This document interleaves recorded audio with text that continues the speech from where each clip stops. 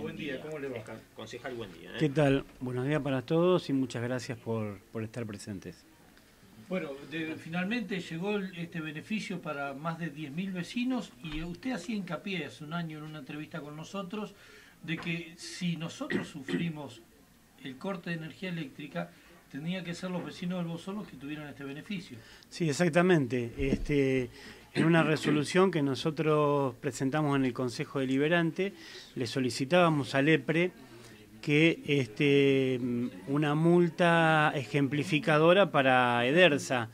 Lo que, lo que nosotros estamos planteando y estábamos planteando en ese momento es que eh, este tema de, las inclemencias climáticas y de, que, de, lo que había pasado con muchos días de, cortes de energía, eh, había gente de la localidad, vecinos que habían perdido cosas que se guardan en los freezer, este, mercadería, carne, todo eso. Bueno, y le solicitamos al EPRE, yo me acuerdo en una reunión que tuvimos con el concejal Caliba, le, solicitamos al EPRE que el dinero de la multa sea redistribuido eh, con los vecinos del Bolsón. Y bueno, nos encontramos ahora con la grata sorpresa de que los vecinos del Bolsón van a recibir un descuento en, en su factura, este, gracias a este trabajo que hemos hecho nosotros y que el, que el EPRE nos, ha dado la,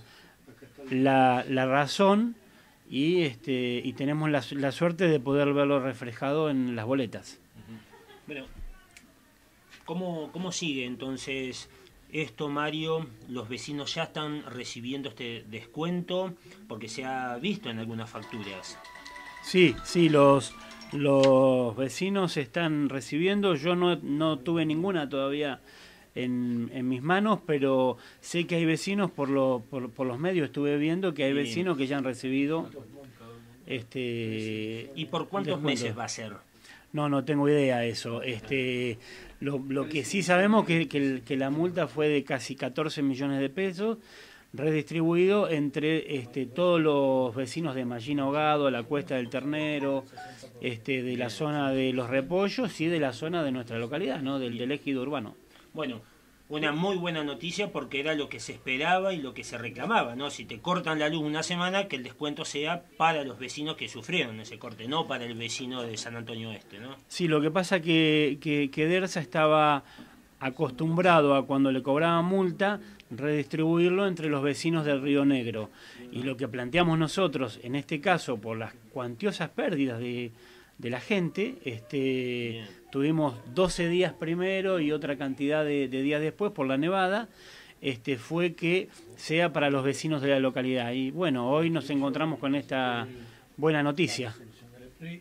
Escandizo, la propia resolución del EPRE 269-17, que está basada en el proyecto que ustedes eh, presentaron y que fue aprobado por unanimidad por este Consejo Deliberante, habla de distintos escalonamientos, vecinos que tendrán un beneficio del 60%, serán, son más de 8.000, eh, luego del 50%, 1.100 y así se va desglosando estos más de 10.000 vecinos que son beneficiarios.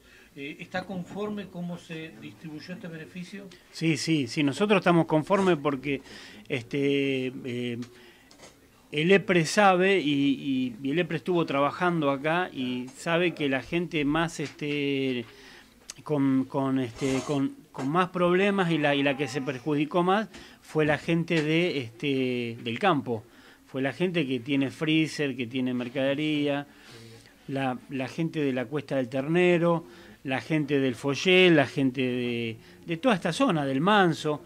Este pero, pero quería hacer hincapié también en, en el trabajo que se realizó desde el Consejo Deliberante por, este, por todos estos temas, ¿no? Eh, cuando nosotros le, presentamos a los concejales esto, eh, automáticamente nos plantearon que sí y salió por unanimidad. Escandizo, ¿qué pasos van a tener que realizar ahora los vecinos para con esta factura que llega con costo cero? No, este lo esta factura llega con, con costo cero y, y, es, el, y es el, el, descuento que se le hace. Este, no tienen que hacer nada. tienen que... No, no, no, no, no, no, no, no hay que sellar nada. La, la factura ya viene con el costo cero y no tienen que pagar nada. Es una factura que es este igualmente, costo pero cero. sí, voy a lo que va el colega es si tiene que ir con a pasar por la barra eh, el código de seguridad en una, Ah. en una caja. Te- sí, te entiendo. Mira, Claro. no, no lo tengo en claro todavía. Vamos a consultarlo y se lo vamos a transmitir a ustedes y los vecinos también se, se pueden acercar a las oficinas de Edersa, este, quizás para que se la sellen como, como, como se hace siempre o habitualmente pagada. Claro. Así como ustedes fueron caja de resonancia de los primeros reclamos, hay vecinos que la factura les llegó primero con 60 pesos de costo, muchos de cero directamente, y luego de esta de 60 le llegó a un vecino concretamente 4 mil pesos, una factura de 60 y otra de 4 mil.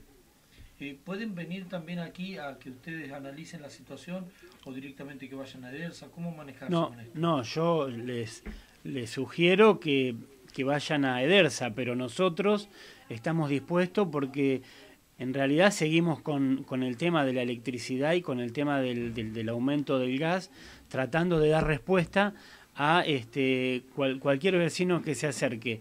Estamos trabajando con el tema del gas ahora, con la defensora del pueblo de, de Bariloche, con la doctora eh, Beatriz Oñate, porque hem- hemos tenido este, facturas de gas de- del, del mes pasado de 1.000, 1.500 pesos y este mes entre 3.500 y 4.000 pesos. Entonces estamos empezando un reclamo para ver de qué manera se, se puede frenar esto.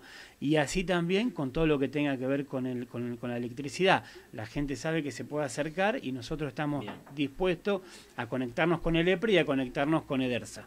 Bueno, cada vez más se nota la necesidad de una oficina de defensa del consumidor en el Bolsón, ¿no? Sí, eh, esta oficina está por por este por, por ordenanza está.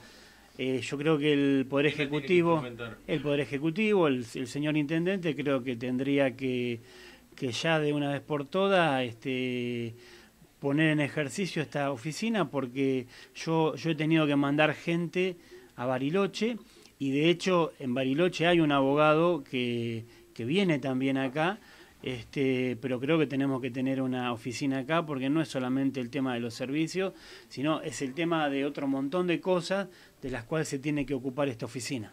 Bien, gracias. Gracias a usted.